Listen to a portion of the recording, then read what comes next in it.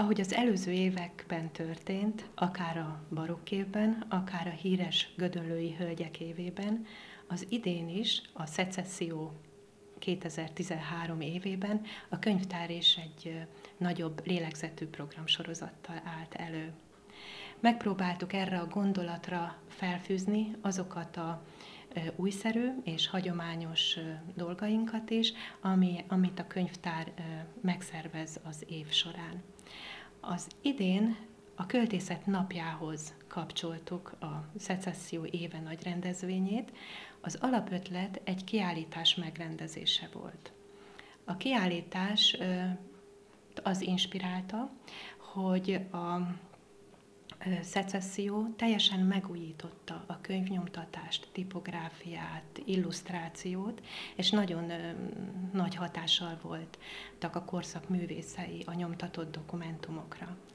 Aztán, ahogy gyűjtöttük ezeket a dokumentumokat, a kottákat, az exlibriseket, a szépen illusztrált könyveket, láttuk, hogy sokkal nagyobb lehetőség van ebben a gondolatban, és tovább léptünk a kiállítástól egy szecessziós tanösvénynek a kialakításáig. Utazás a könyvtárban. Ezt a címet adtuk a kiállításnak. A földszinti rendezvénytermekben és a folyóiratolvasóban került kiállításra a könyvművészet remekei, de a szecessziós plakátok, amelyek a falon látha, falakon láthatók, különböző nyomdászati eszközök, betűk, amit ebben a korszakban használtak, és hát természetesen a kiadványok. És hogy ebből tanösvény legyen, a könyvtár kölcsönző terében, minden részlegben, a gyerekkönyvtárban, a zenei részlegben, felnőtt részlegben, helytörténeti gyűjteményben egy-egy állomást rendeztünk be, amelyik más-más szempontból közelít a szecesszióhoz. Így a felnőtt részlegben a szecesszió és az irodalom a téma. Itt összegyűjtöttük természetesen a könyvtár sajátos eszközeivel, könyveken, internetről elérhető irodalmon keresztül, mindazt, ami a szecessziós, magyar szecessziós irodalomra jellemző volt. A gyermekkönyvtárban a gyerek világ és a családi életre vonatkozó témát próbáltuk feldolgozni egy kis állomáson keresztül, egy mini kiállításon keresztül. A zenei részlegben a zene történetnek ezt a korszakát, illetve ugye a néma film nagy korszaka volt a 20. század eleje, tehát a néma filmek korszakát dolgoztuk fel az olvasóteremben, az építészet és belső építészet történetéről van egy mini kiállítás, a helytörténeti gyűjteményünkben pedig a Gödöllői művésztelepről. És hogy mindez hozzásegítsük az embereket, hogy el is mélyüljönek benne, egy játékot találtunk ki hozzá, minden állomáson feladatokat kapnak, és a feladat megfejtése az szecessziós és irodalom állomáson áll össze, egy verstorony összerakásával, ami valóban egy irodalmi utazás. Mennyire vevők az emberek erre a játékra? Nagyon. Nagyon vevők, megpróbáltunk olyan eszközöket kapcsolni, ami, ami igazi játék. Tehát készítettünk a gyerekrészlegbe például olyan mesekockákat, amely, amelyen a gödölői művésztelep, illetve szecessziós alkotóknak az illusztrációi vannak. És ezt a mesekockákat össze lehet rakni, ez is egy feladat. Vagy akár a helytörténeti gyűjteményben az a Tilitoli játék, amely Nagy Sándor Nővérek című üvegablakát tudja összerakni, az, aki hát ügyesen felismeri a képet és érti ennek a logikáját. A játékot összekötöttük azzal, hogy sokan használnak okostelefont. Ennek most nagy divatja van, így a feladatokat egy QR kód mögé rejtettük minden állomáson, amit az okostelefonnal beolvasnak, megfejtik a feladatot, és hát a helyes megfejtést is rögtön megtalálhatják, akinek sikerül a feladat megfejtése. Természetesen nem mindenki okostelefonnal érkezik, ez csak a játéknak a része, és a figyelem felkeltésé. A kérdések, a feladatokat papír alapon is bárki megkaphatja és végigjátszhatja. Ez azt jelenti, hogy ha vevők az emberek, akkor a hétvégeken vagy olyan időpontokban, amikor amúgy is elvárható, hogy többen keressék fel a könyvtárt, akkor tömeges az érdeklődés ez iránt?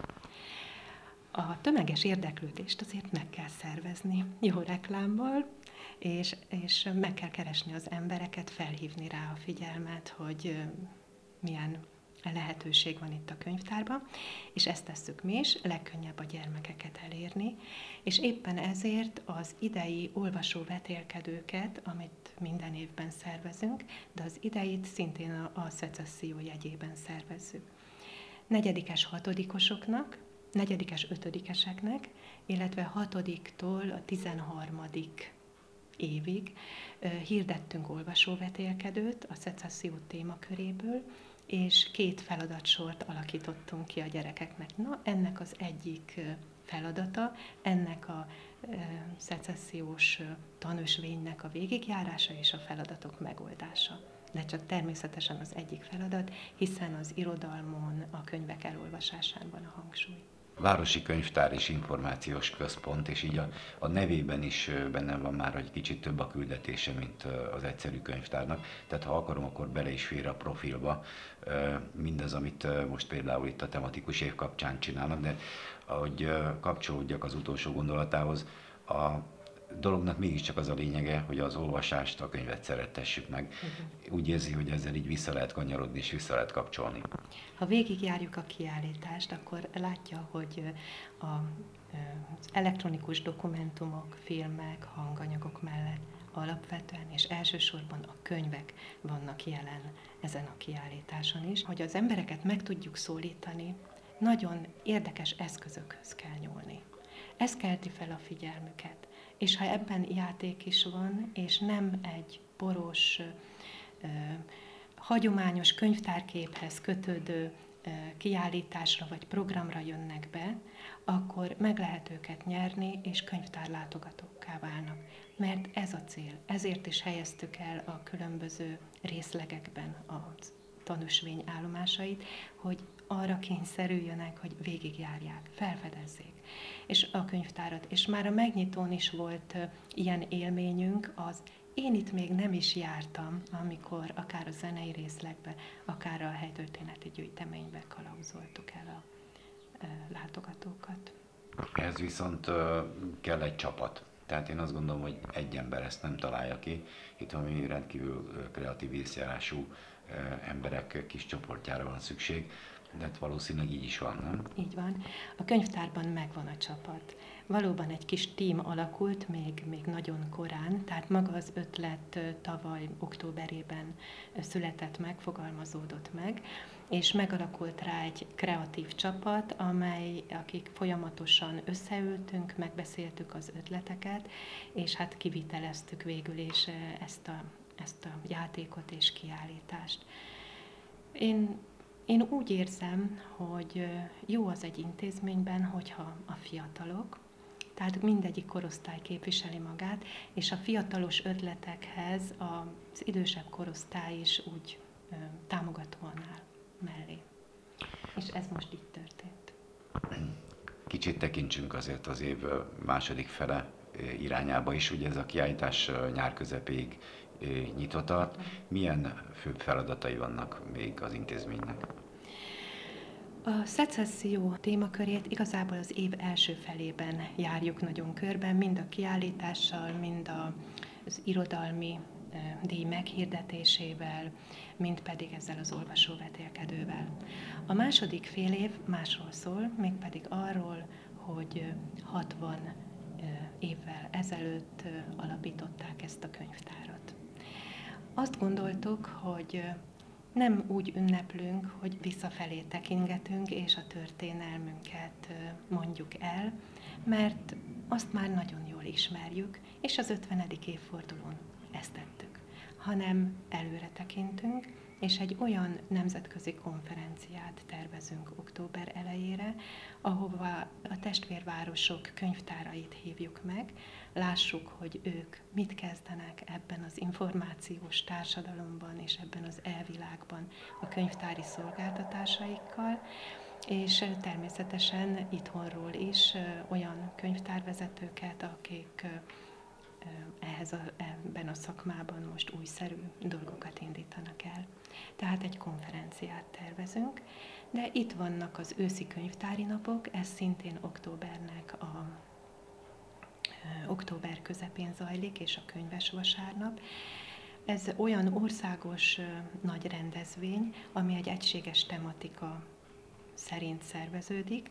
A tematikáját körülbelül úgy júniusban tudjuk meg, és akkor kezdjük hozzá szervezni a programokat.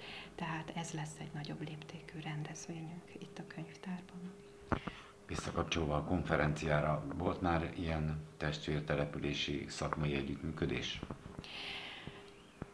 Olyan tekintetben volt, hogy például a Gisszeni könyvtárral volt dokumentumcserénk olyan könyveket, német nyelvű könyveket küldtek, amelyekből a gyerekek könnyen sajátíthatják el a német nyelvet, vagy gyakorolhatják, mi pedig magyar nyelvű gyermekkönyveket küldtünk.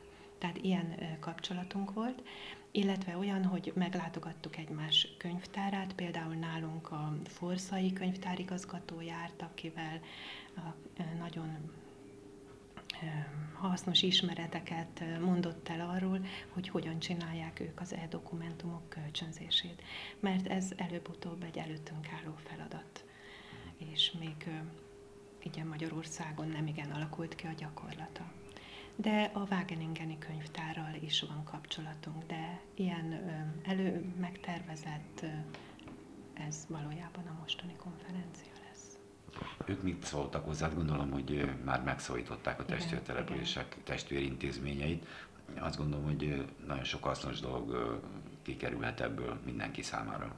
Igen, ezt én is így érzem, elfogadóak voltak, és és abban bízom, hogy, hogy így a 60-as, 60 év jegyében, vagy 60. születésnap jegyében inkább a megújulás és új dolgok felé fordulva szeretnénk ünnepelni összegezve mind azokat, amikről beszéltünk, és említettük a fő cél mégiscsak az, hogy az olvasás szeretete vezérelje az önök munkáját. Mi a tapasztalat, mi az irány? Csökken a könyvtárba járók száma, vagy nő, vagy esetleg stagnál? Valóban, az ilyen közkönyvtárak legfontosabb feladata az olvasás fejlesztés. Ez most egy kicsit furcsán meg iskoláson hangzik, egy kicsit az angol nyelvhasználat vagy szóhasználatból lefordított szó ez, de ennek évek óta nagy reneszánsza van a könyvtárakban, és igazából nálunk is. Az olvasásfejlesztés alapvetően egy szemléletváltozás meg kell tanulnunk az olvasó fejével gondolkodni, és olyan könyvajánlásokat, figyelemfelkeltést, olyan kis csoportokat szervezni, amelyik az, az olvasó igényei szerint jó, és nem a könyvtáros vagy a könyvtár igényei szerint. Például a boltokban azért fogynak jobban a könyvek, mert nem a gerincükkel kifelé állnak, hanem a könyvborító mutatják be a boltokban. Ezen próbálunk mi is változtatni. Sok könyvet, amire fel akarjuk hívni a figyelmet, kifordítunk, hogy elvigyék az olvasók. Ezeknek a könyveknek sokkal nagyobb a forgalma. Vagy szeretik, ha a könyvet valaki ajánlja. Jó, ha a könyvtáros, de persze, ha már más olvasta, azt még szívesebben olvassák el. Ezért van a könyvtárban egy olvasókör, egy olyan közösség, amelyik közösen olvas, illetve hát határozza meg, hogy mit olvas, majd egy hónap múlva leülnek és megbeszélik. Vagy aki nem szeret így csoportba eljönni, de az interneten szívesen megírja a véleményét, belőlük egy olvasói lánc szerveződött, akik a, ez, ez egy zárt lánc, tehát csak ők látják az üzeneteket, de a könyvélményeiket megbeszélik. Tavaly októberben indult el ez a könyvlánc, és 70 könyvet írtak le, ajánlottak a láncon a tagok, és ebből 34-et mások szívesen el is olvastak. Tehát Az ilyen, ilyen típusú szerveződéseknek nagy jövője van. Részben a net is, és a helyi találkozások is. Itt tartunk az elektronikus világnál, megint visszakanyarodtunk. Míg mi beszélgettünk ez alatt az intézményben éppen, hogy is mondjam, nálunk kicsit idősebb emberek ismerkednek az elektronikus könyvolvasás lehetőségeivel, de nem viszi el az olvasót a könyvtárból az, hogy megmutatjuk neki, hogy ezt otthon is meg tudja csinálni? Ha azt kérdezi, hogy jók-e a forgalmi statisztikáink, azt mondom, hogy igen, nem csökkent az olvasók száma, sőt, a könyvet kölcsönzőknek a száma a tavaly előtt évben és a tavalyi évben is növekedett. Most még azt mondom, hogy nem viszi el az olvasót a könyvtárból, mert a könyvtár közösségi tér is. És ha meg tudjuk teremteni azt, hogy az emberek számára a, a család és a munkahely után, ami ugye elsődleges terek, mint harmadik hely a könyvtár tud a közösségi tér funkcióját betölteni, ahol találkozik emberekkel, ahol, ahol alkalma van akár egymagában is, de leülni és elmélyedni egy, egy könyv vagy egy cikknek az olvasásában, akkor én, én úgy érzem, hogy a, a közművelődési könyvtáraknak, közkönyvtáraknak van jövője. Nem félek attól, hogy ez a szép épület ki fog üresedni. És ez is egy ajándék, egy élmény.